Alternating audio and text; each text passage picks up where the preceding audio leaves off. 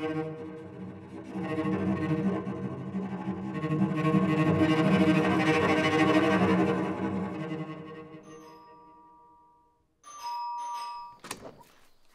Thomas. Jetzt habe ich aber schon lange nichts mehr von euch gehört. Vor allem von ihrer Frau. Ist eh alles okay bei euch? Ja, ja, alles bestens. Wir brauchen eine kleine Auszeit.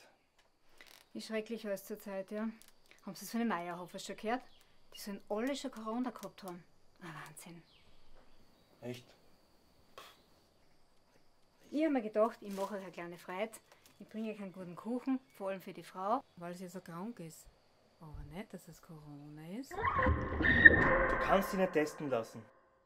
Wenn das an die Öffentlichkeit geht, dann ist meine Firma ruiniert. Das kann ich mir nicht leisten. Willst du uns weiterhin so isolieren? Ich brauche Hilfe. Nicht, wenn du den Mund hältst. Das kann ich nicht mehr länger. Thomas? Thomas? Äh, Entschuldigung. Äh, sie ist negativ. Na schauen Sie, dann wird das mit Ihrer Frau auch nicht mehr allzu lang dauern. Wenn Sie irgendwas brauchen, dann rufen Sie mir einfach an. Danke.